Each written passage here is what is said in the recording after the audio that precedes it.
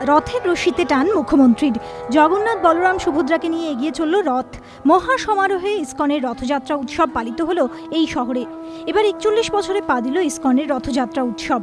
অনুষ্ঠানে মুখ্যমন্ত্রীর সঙ্গে উপস্থিত ছিলেন তার পরিবারের সদস্যরা। ছিলেন তৃণমূলের নেতারাও। মুখ্যমন্ত্রী উদ্বোধন করার পরই বিভিন্ন সাংস্কৃতিক অনুষ্ঠানের মধ্য দিয়ে এগিয়ে চলে রথ। রথযাত্রা চলছে। আমাদেরও কলকাতার গর্ব, ইস্কন রথ আমরা সবাই আজকে জগন্নাথ দেবকে প্রণাম জানিয়ে বলি। ওম নীলাচল নিবাসায় নিত্যায় পরমন্তনে বলভদ্রে সুভদ্রাভান জগন্নাথায় নম। জয় জগন্নাথ দেবের জয়। উৎসবের সাক্ষী থাকতে রাস্তায় নামে মানুষের ঢল। জগন্নাথের রথের রশির একটু স্পর্শ পেতে আকুল সবাই। বৃহস্পতিবার সকালে পার্ক সার্কাসের সুরাবর্দী অ্যাভিনিউ থেকে শুরু হয় রথযাত্রা। এরপর CIT road, S N Banerjee road, Jawaharlal Nehru road হয়ে ইসকনের রথ গিয়ে পৌঁছয় ব্রিগেড প্যারেড গ্রাউন্ডে। এখানেই এক সপ্তাহ থাকবেন জগন্নাথ বলরাম সুভদ্রা। সেখানে পুজো অর্চনার সঙ্গে থাকবে নানান সাংস্কৃতিক অনুষ্ঠানও।